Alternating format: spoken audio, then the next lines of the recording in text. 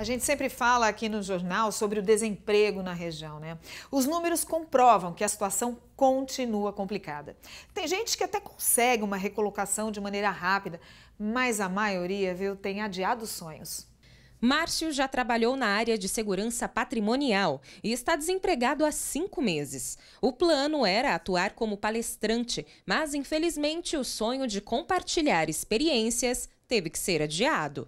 Eu entrego meu currículo, algumas pessoas é, ah, olham com um olhar um pouco diferente é, talvez com medo do salário que você vai pedir. Eu sei que hoje o Brasil não é o mesmo salário como era dois, três anos atrás. Segundo o IBGE, o Brasil tem hoje mais de 13 milhões de desempregados. Pessoas que estão em busca de uma nova oportunidade, mas ela não aparece. Segundo dados do CAGED, o Cadastro Geral de Empregados e Desempregados, nos últimos 12 meses, 22.315 pessoas foram demitidas na cidade de Araçatuba.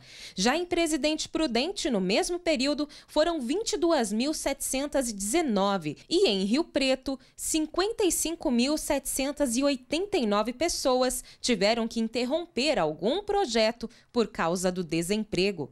Para esta gerente de recursos humanos, o principal conselho nesse período é não ficar parado. Vou comunicar aos meus amigos, a minha rede de contato, eu vou participar de cafés, de eventos, para que eu mantenha uma rede de network onde as pessoas possam me ajudar, me indicar, me falar sobre empregos.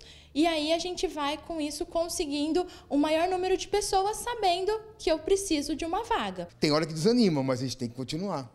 O sol nasce para todos.